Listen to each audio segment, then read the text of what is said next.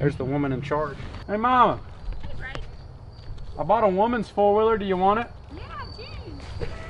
a woman's four-wheeler. Because it's a Polaris. You want it? Yeah. It's nice.